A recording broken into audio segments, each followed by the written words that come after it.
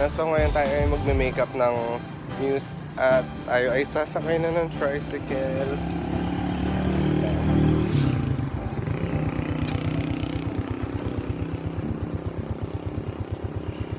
Tagalin mo po.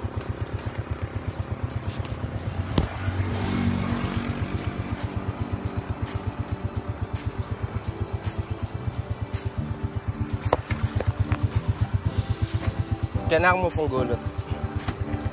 Kempong kabigting sa alo. So, ayun mga katsyan, nakasakay na tayo. Dito na ako sa likod. So, magme-makeup nga pala ako ng music for today. At i-update ko kayo later kung sino siya. Bye!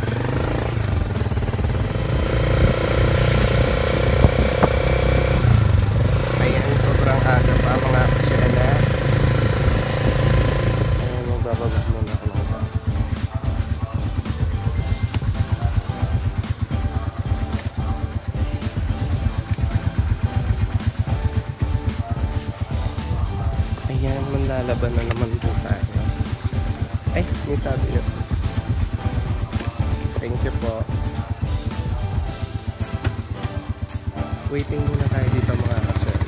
So ayun mga katsena, nandito na nga tayo sa Bigting sa Lohalo at yung oras is advanced ng self ay It's already 5.35 at nag-chat na si SK. Replyan ko po. So, di ako masyadong di masyadong okay yung boses ko kasi inuubo ako kasi.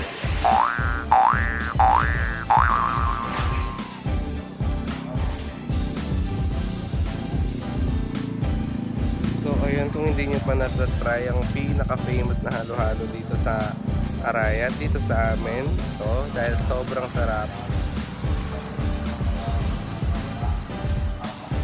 So, mga katchen, update ko kayo guys.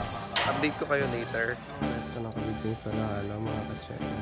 At yan, kitang-kita nyo naman. Try nyo na masarap nilang offer. Ayan. At may misa nga po, no? SK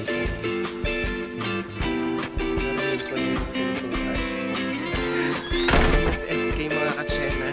Ayun na siya. Good morning, SK. Ayan. Carry lang. Oo. Ayan ako na mo, SK. O siya, yun na mo. So, ayun, magbibit-bit muna kami ng mga gamit, mga kachena. Habang.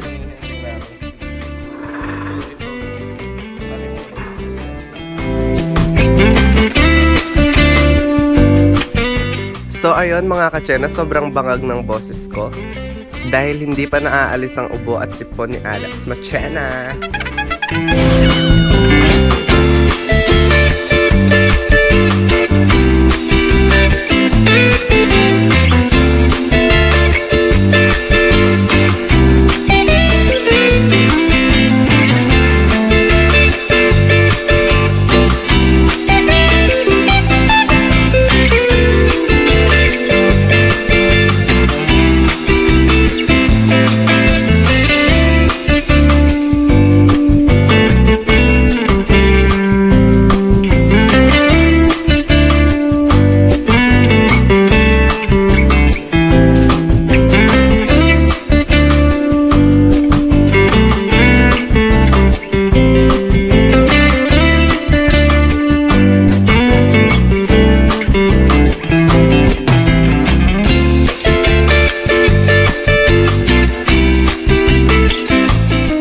At ayun na nga ang ating beautiful muse na si Jeannie Vincent. No further ado mga katsena, let's get started. Start na natin lagyan ng setting spray ang kanyang mukha. At next nating i-blend sa kabuki brush.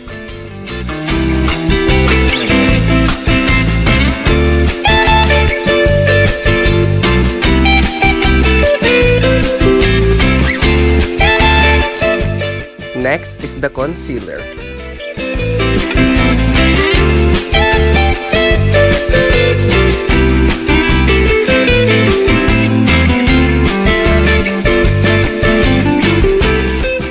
Followed by Liquid Foundation.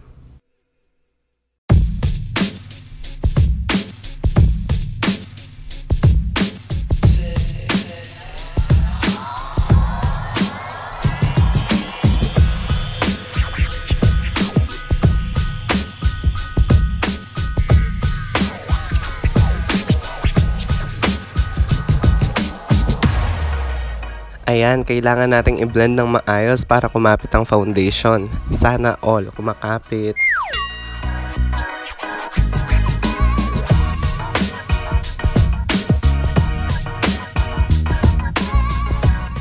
Next na tayo sa press powder.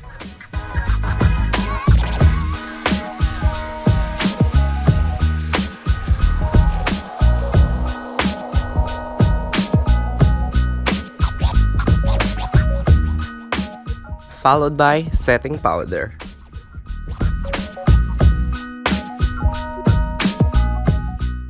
At simulan na rin natin ang eyeshadow.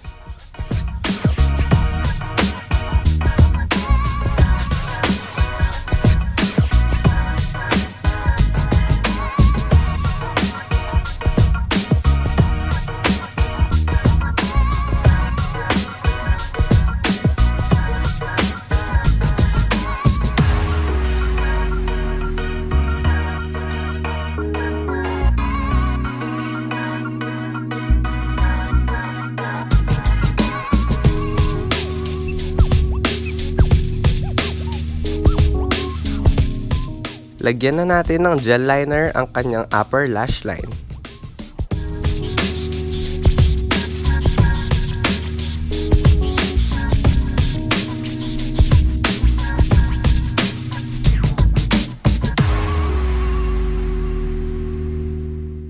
Ayan, nagsisidatingan na ang mga makukulit na players ng poblasyon. Nakita nyo naman sa intro.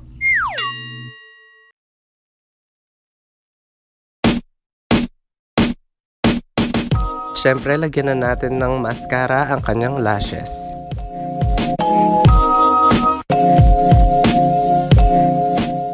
Lagyan na rin natin siya ng false eyelashes.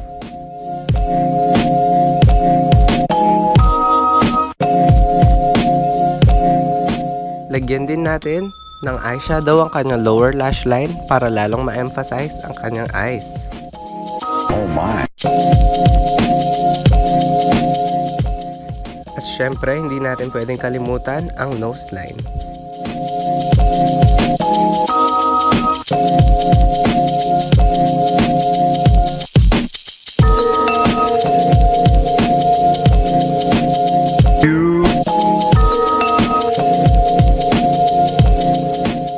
Followed by the contour.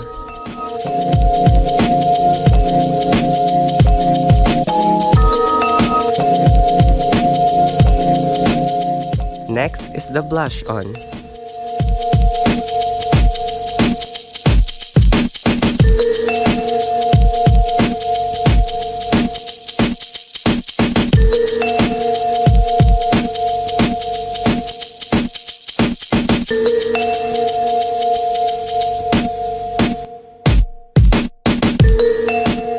At ayon mga katsena, alisin na natin ang setting powder na kinabit natin kanina.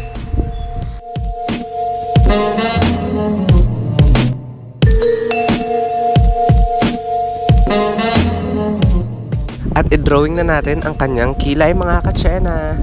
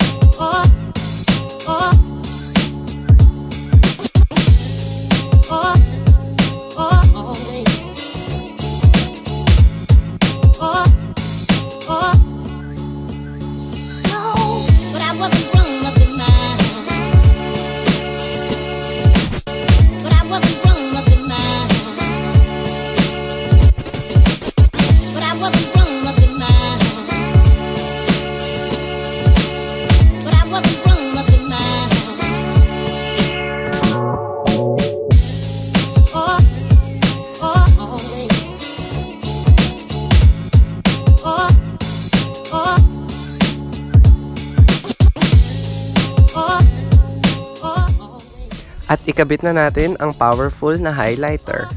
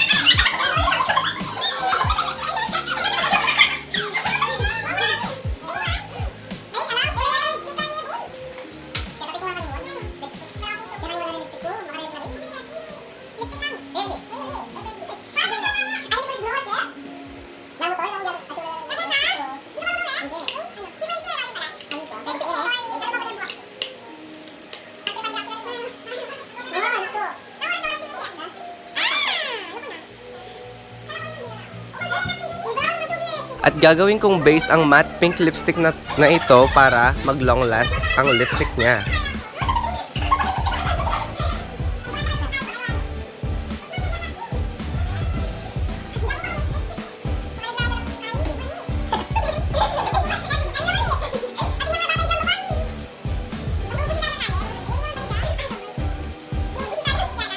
And last but not the least mga kachena, ikabit na natin ang lipstick na ipag-mix natin sa base na kinabit natin kanina.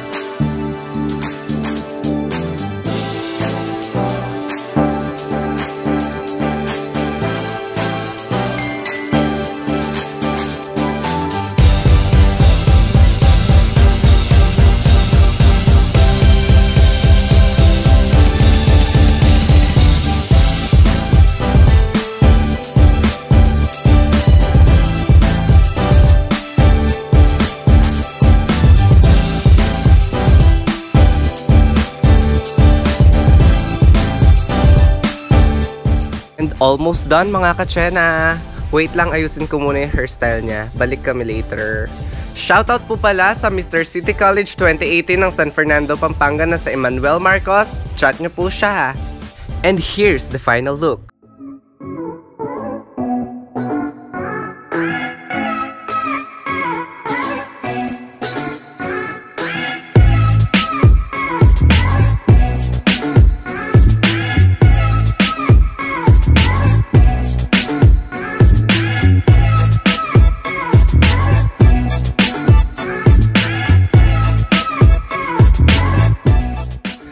Thank you so much for watching mga katsena. Kung nagustuhan mo ang video na to or makeup video na to, huwag mo kakalimutan mag-like, share, at subscribe to my YouTube channel. Kung meron kang mga suggestions about makeup or kung gusto mong magpa-shoutout, comment down below mga katsena. Maraming salamat po sa sumusuporta sa akin. Thank you po.